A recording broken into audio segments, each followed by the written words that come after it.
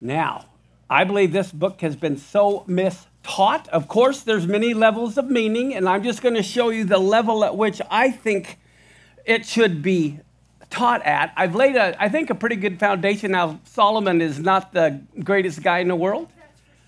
Okay. One of the things that uh, people don't know is really what this book is called. Actually, there's different renderings. It can be the Song of Songs, which is to Solomon. It could be the Song of Songs, which is for Solomon. It could be the Song of Songs, which is about Solomon. They don't, Solomon didn't necessarily write this. That's what you have to understand. A lot of people think it's the Song of Solomon. It's not the Song of Solomon. It's a song to Solomon, for Solomon, about Solomon. That's what's important to remember. Now, uh, so Song of Songs 1 1, it's this, I have the Song of Songs, which is Solomon's, but I definitely don't believe it is by Solomon. Now, the best way to understand this book is to think of it as a play. Okay? So let's open the curtains. Dun, this is a dramatic play, and it's going to be in six different acts. And so, what do we have? The first act, and you can write this down, is chapter 1, verse 2 through chapter 2, verse 7. And we see that the Shulamite or the bride to be is double minded. She can't decide where she wants to go. Does she want a human king like Solomon, or does she want the shepherd to be her king. And as we know, God never sleeps or slumbers. And you're going to find the bride continually falling asleep, which is representative of the body of believers and Israel as well. Okay, Act 2 is going to begin in chapter 2, verse 8, and it goes chapter 3, verse 5. And here we have the shepherd calling the bride to wake up, and we find she does, and then she falls asleep again.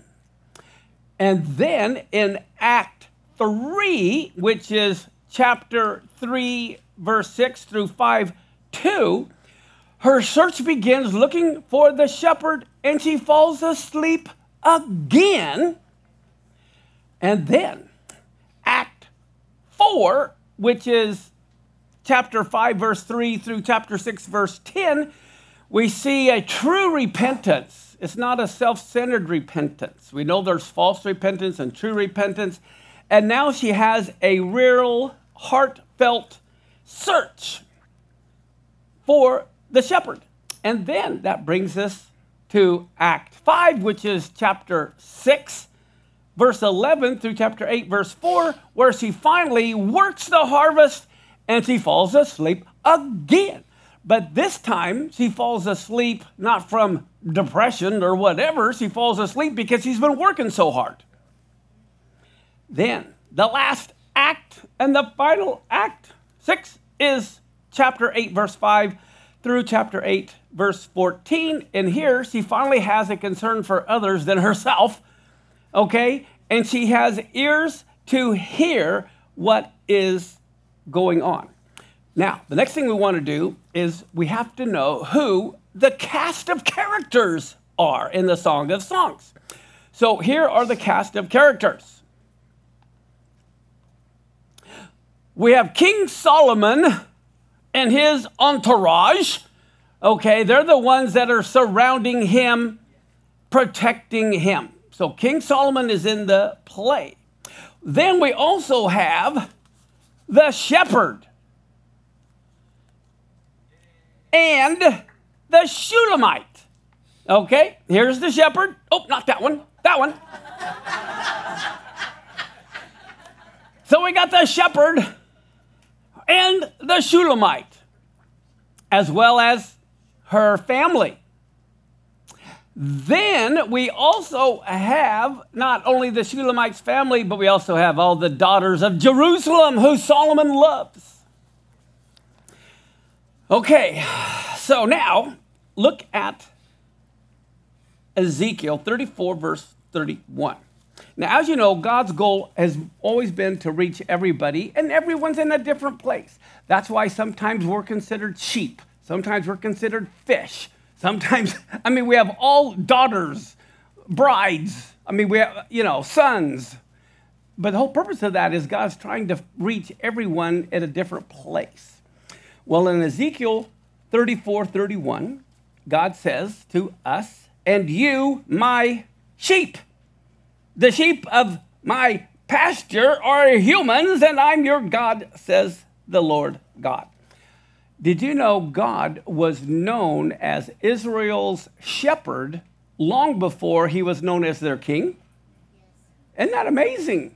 Israel related to God as the shepherd, not as the king. Look at Psalms 80, verse 1. It says, Give ear, O shepherd of Israel, you that lead Joseph like a flock, you that dwell between the cherubim, shine forth. So here, even King David recognized God as his shepherd, which is why we all know from Psalms 23, verse 1 through 3, the Lord is my what? Shepherd. I won't want. He's the one who makes me to lie down in green pastures. He's the one who leads me beside the still waters. He restores my soul. He leads me in the paths of righteousness not for our sake, for his name's sake. So everyone will know he's the great shepherd. But clear back many, many, many, many, about a thousand years earlier in Genesis 49, when Jacob or Israel is blessing his kids, he had this to say about Joseph in Genesis 49, verse 24. His bow abode in strength, and the arms of his hands were made strong by the hands of the mighty God of Jacob. From thence is the shepherd, the stone of Israel. So even Jacob, long before Moses, 400 years, called God the shepherd and the rock of Israel. So God was known as the shepherd long before he was known as the king. But we also know God always wanted his shepherds to feed the flock. But most have been fleecing the flock. Look at Ezekiel 34, verse 2. He tells Ezekiel, Son of man, prophesy against the shepherds of Israel. Prophesy and say to them, Thus says the Lord God to the shepherds, Woe be to the shepherds of Israel that do feed themselves. Should not the shepherds feed the flocks? Do you remember in John 21, three times, what did Yeshua tell Peter? Feed my sheep. That has always consistently been God's goal. Now, we know God wanted his shepherds to feed the sheep, not fleece the sheep. And uh, it was not for the shepherds to rule over his sheep. Okay? He claimed that that's what the Gentiles do to their people. The Gentiles rule or harsh toward their sheep. So God is looking for humble people who will serve him and love his people. Do you remember what God told Nathan concerning David wanting to build a house for God? What did he say? He says, You can't build a house for me, you got bloody hands. Look at First Chronicles 17, 4 through 7. He said, Go and tell David, my servant, so says the Lord, you are not going to build me a house to dwell in, for I have not dwelt in a house since the day I brought Israel up until today. I've gone from tent to tent, from one tabernacle to another, wherever I've walked with all of Israel. Did I ever ask any of the judges whom I commanded to do what? That's what he's commanded them to feed my people. And he never said, Well, how come you haven't built me a house of cedars? And so now tell this to my servant David. So says the Lord of hosts I took you from the pasture, from following the sheep, so that you should be ruler over my people Israel. God wanted a shepherd to rule over his people. Here is David. David was a shepherd who always took care of the sheep. But guess what? Solomon was not a shepherd. He was born with a silver spoon in his mouth. He had everything. He never had to experience what David experienced.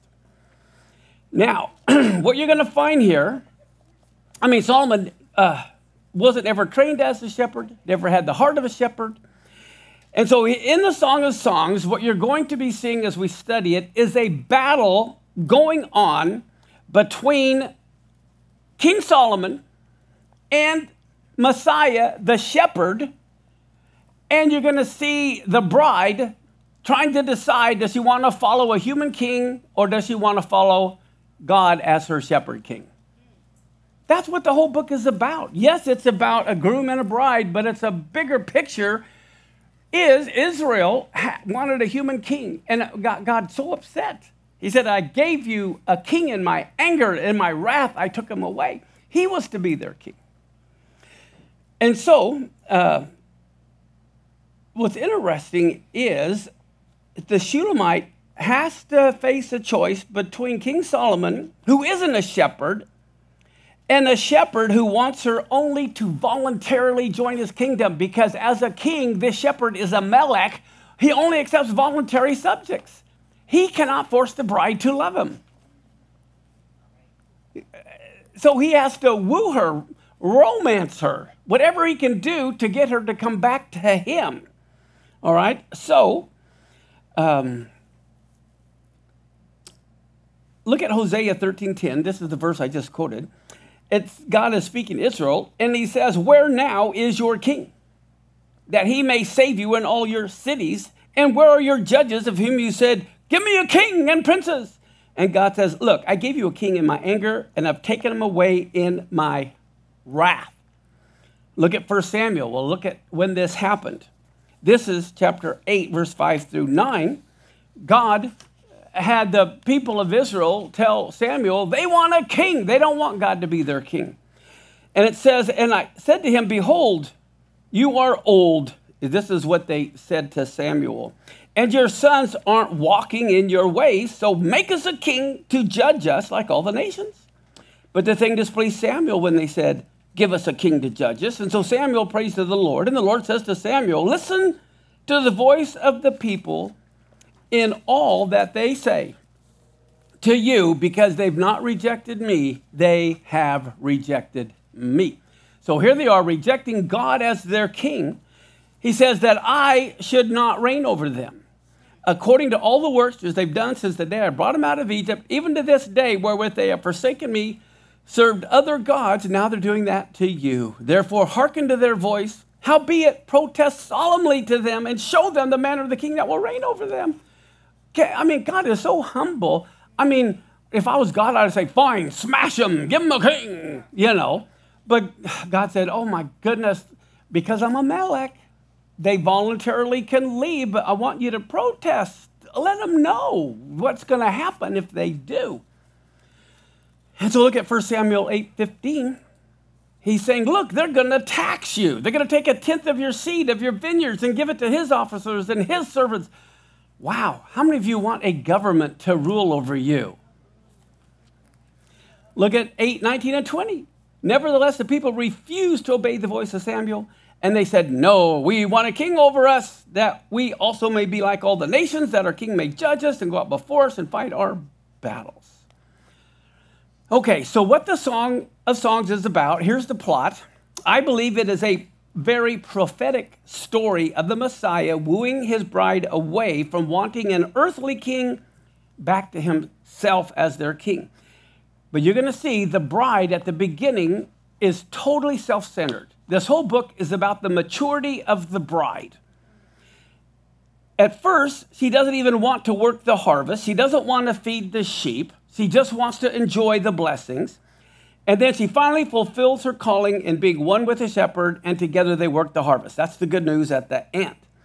So King Solomon now is enticing the Shulamite with everything the world has to offer and wants her to stay with him. She even pursues her in the wilderness, trying to get to her while she's going to the shepherd. Okay, and what is happening? The Shulamite is being pulled with those cords of love by the shepherd who wants to be her king. Now, there's no way in this story King Solomon and the shepherd can be the same person, which is where everyone's been confused. And you're going to see why. If you look at Song of Songs 1, verse 4, the second half, she goes, The king has brought me into his chambers. She knows who the king is. It's King Solomon. And she knows what he does for a living. He's bossy, all right? But here, look at just a few short verses later in verse 7. She says, Tell me whom my soul loves. Where do you feed? Where do you make your flock to rest at noon? Why should I be as one that turns aside by the flocks of your companion? So she's talking to someone who she knows absolutely nothing about. But she also claims to love him. Well, how many believers today claim to love the Lord and they know nothing about him? It's the same. A lot of them don't even know he's Jewish. Uh, let's see. One of the keys to also understanding this is knowing, and you can make marks in your Bible if you believe in making marks in your Bible, who's talking. You have to know who's talking. That's a huge difference. Okay. now, here's the other thing to know who's talking. The bridegroom always refers to the bride as my love. She always refers to him as my beloved. It's that, that it really helps because there are some mistranslations, believe it or not, in the English in this book that we'll go over. Now, look at Song of Songs, chapter 5, verse 4. It says, My beloved. So who's talking? Her. My beloved put his hand by the latch of the door, and my heart yearned for him. That tells you how he always refers to her as my love. Look at Song of Songs, chapter 4, verse 1. Behold, you are fair, my love. You are fair. You have dove's eyes behind your veil. So, do you see that? That's how you know who's talking. And then we also see the daughters of Jerusalem are involved. But look at Song of Songs, chapter 2, verse 10. She says, My beloved spoke and said to me. So you know that's her. And in verse 10, the second half, what did he say? Rise up, my love. So who's talking? He is. And he says, Rise up. That means who was sleeping? He was. See how simple that is. Okay, it's so important to understand this. And I think what's interesting when we begin the book here in just a minute, it begins with the bride doing all the talking. Know, that kind of tells you there's a problem here. You know, we're supposed to hear and obey, not tell him what to do. But oftentimes, when we first come to the Messiah, it's gimme, gimme, gimme, gimme, gimme, do this, do this, do this and we don't know how to be quiet before the king and see what he asks of us. Okay. Um, okay, let's begin. Are you ready? Song of Songs, chapter 1, and let's look at verse 1 through 4. It says, Let him, so who's talking? She is. Let him kiss me with the kisses of his mouth she says, For your love is better than wine. Because of the savor of your good ointments, your name is as ointment poured forth. Therefore, do the virgins love you. Now, notice I find it very interesting. It doesn't say, Therefore, I love you. She doesn't claim to love him uh, out of either embarrassment or I don't know what the motive is, but she says, But the virgins love you. And then she says, Oh, but pick me, pick me, draw me. And then she says, We will run after you, not I will run after you. She wants to be part of the group. And she says, We will run after you. And then all of a sudden, the king has brought me into his chambers. It doesn't say, You have brought me into the king's chambers. It says, Oh, the king just showed up and he took me into his chambers. And then she goes back and she's speaking to the shepherd, but we will be glad and rejoice in you. It doesn't say him, it's not talking about the king. It says, We're, we're going to rejoice in you. We will remember your love more than wine. The upright loved you. Again, not I love you, but all who are upright love you. And what do we see in Ecclesiastes 7 1? A good name is better than precious ointment, which is what it says. Your name is as ointment poured forth. Look at Jeremiah 31 3. The Lord has appeared of old to me, saying, Yes, I've loved you with an everlasting love. Therefore, well, with loving kindness I've drawn you. Solomon never showed loving kindness. The shepherd is showing loving kindness. And here I think it's interesting, you know, how wonderful his name is. Well, look at Psalm 119, 132. Look upon me and be merciful to me as your custom is toward those who what? Love your name. Psalm 66, 2. Sing out the honor of his name. Make his praise glorious. Well, the shepherd has a glorious name. There's healing in his name. And what do we know? The bride takes on the name of her husband. Well, look at this in Jeremiah 33, verse 16. In those days, Judah shall be saved, Jerusalem shall dwell safely, and this is the name wherewith she will be called. She'll be called the Lord our righteousness. We take on his name. Look at Isaiah 4 1 and 2. In that day, there will be seven women who are going to take hold of one man, and they say, We will eat our own food and water, wear our own apparel, only let us be called by your name to take away our reproach. And that day, the branch of the Lord shall be beautiful and glorious, and the fruit of the earth will be excellent and appealing for those of Israel who have escaped. Okay, we're going to take upon the name of the Lord. Now, how many know Messiah is the branch? Messiah is the branch. Well, I believe the bride wants her reproach of desiring an earthly king to be taken away as she returns to the Lord and takes on his name. Look at Hosea chapter 11, verse 1 through 4. When Israel was a child, I loved him. Out of Egypt, I called my son. As they called them, so they went from them. They sacrificed to the Baals. They burned incense to carved images. I taught Ephraim to walk. Think about walking in his ways. He taught Ephraim to walk, taking them by their arms, but they didn't know that I'm the one who healed them.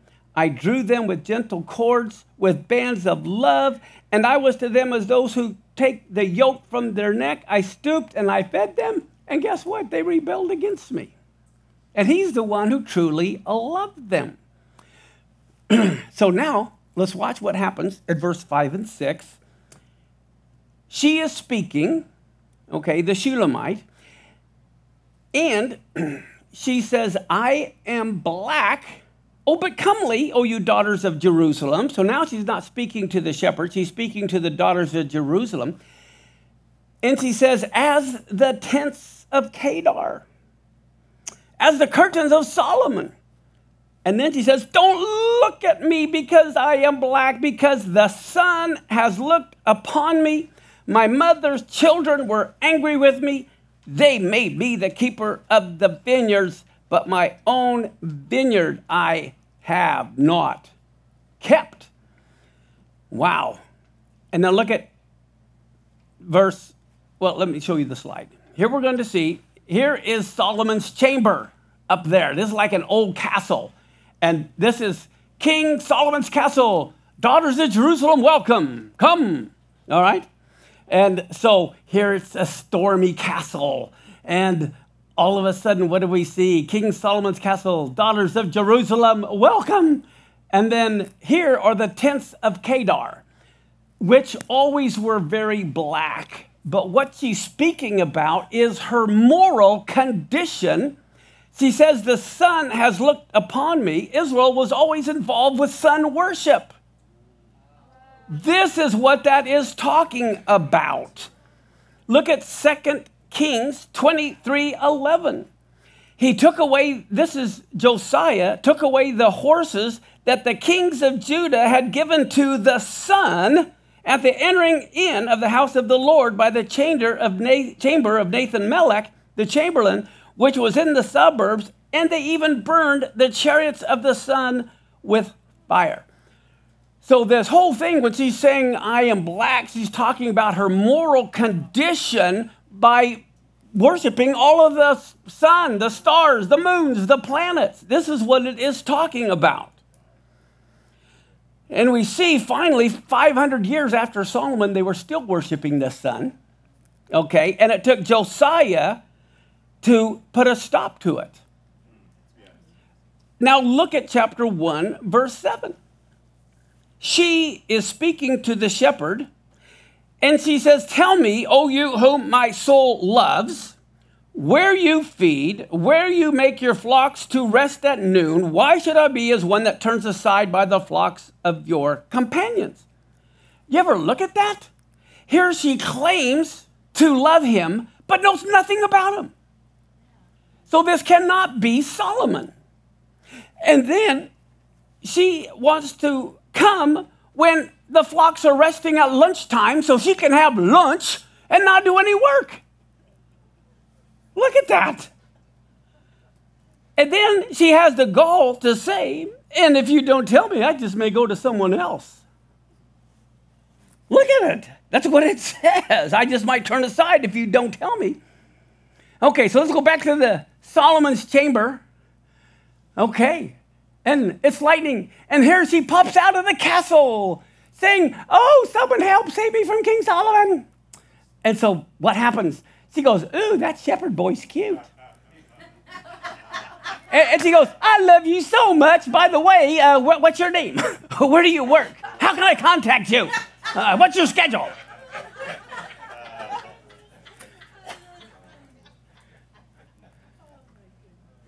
and, and so, what do we find? It's the daughters of Jerusalem who tell her in verse 8, Well, if you don't know, O fairest among women, why don't you go forth by the footsteps of the flock and feed your kids beside the shepherd's tent? If you don't know, why don't you get to work and go follow the footsteps of the sheep? And what's interesting to me, we find in Luke 16, verse 8, that the children of this world are in their generation wiser than the children of light. Here she's the bride, supposedly, but everyone else knows all about the shepherd. And hey, if you don't know, why don't you go follow the footsteps of the flock? Now, there's a big question that you're going to see here is who are the daughters of Jerusalem? What does it mean to be a daughter of Jerusalem? So, where do we go to find out? The Bible. Instead of me telling you who they are, let the Bible tell you who they are. Uh, basically, what you're going to find the daughters of a city are the new little towns that are produced out of that city. That's what it is. The daughters of Jerusalem are the new little surrounding cities that are built. Let's watch. In Ezekiel 16, again, the word of the Lord came to me, saying, Son of man, cause Jerusalem to know her abominations, and say, Thus says the Lord God to Jerusalem, Your birth and your nativity are from the land of Canaan. Your father was an Amorite, and your mother was a Hittite. If you remember, when Abraham was there, uh, okay, it was controlled by the Hittites, the Amorites. Jerusalem was known as Jebus earlier. It was the mother. Look at this, it tells you who the mother was, who the father was. Okay, so we see the father was an Amorite and her mother was a Hittite. They are the ones who founded the city of Jerusalem. So, if you remember, before Jerusalem was named Jerusalem by King David, it was known as Jebus. This is where the Jebusites lived. Going back a thousand years before David to the time of Abraham, we find in the story about Melchizedek, Jerusalem was known then as Salem. It was Salem and then became Jebus and then became Jerusalem. And Jerusalem was initially ruled by the Canaanites. Uh, we see the initial founders were an Amorite and a Hittite. Now, look at this Ezekiel 16 and verse 45. You, speaking to the inhabitants of Jerusalem, are your mother's daughter. In other words, you're just like the Amorites or the Hittites. And it says, loathing husband and children, and you are the sister of your sisters. Wow, there's not only daughters, there's sisters who loathe their husbands and children. Again, your mother was a terrorist. That's what Hittite means. And your father an Amorite. Now look at this map here. Okay, so here is Jerusalem. She has two sisters. One of her sisters is Samaria, her other sister is Sodom. Look at what it says. Your elder sister, that who was founded first before Jerusalem, Samaria was founded, who dwells with her daughters to the north of you. Her daughters are cities around Samaria. And your younger sister, which means Sodom, that city was created after Jerusalem. To the south is Sodom and her daughters. That's the city surrounding Sodom.